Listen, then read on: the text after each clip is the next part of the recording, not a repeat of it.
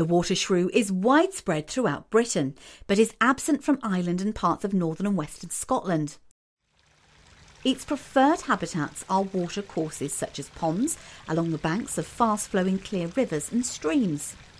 The water shrew is the largest of the British shrews. It has dense jet black velvety fur on its upper parts and creamy white fur on its underside. They have tiny eyes and ears and a long pointed snout. Most have tufts of white hairs on their ears and around their eyes. The water shrew is our only shrew that's able to swim underwater. Its fur is denser than our other shrew species, helping to protect it against the cold and wet. Stiff white hairs on the margins of their feet and on the underside of their tail help to form a keel. They're able to swim fast when in pursuit of prey and can remain underwater for up to 20 seconds.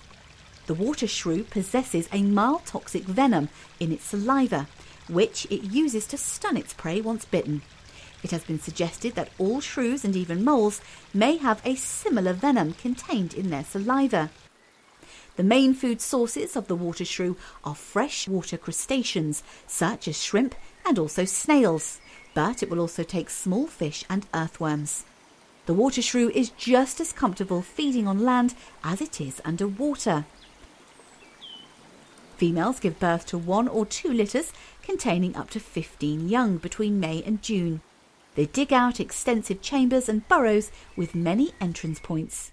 This cross section of a water shrew nest shows three entrance points, one of which is underwater. Small dark droppings are left in piles and smell distinctly unpleasant. Footprints are minute and very rarely found.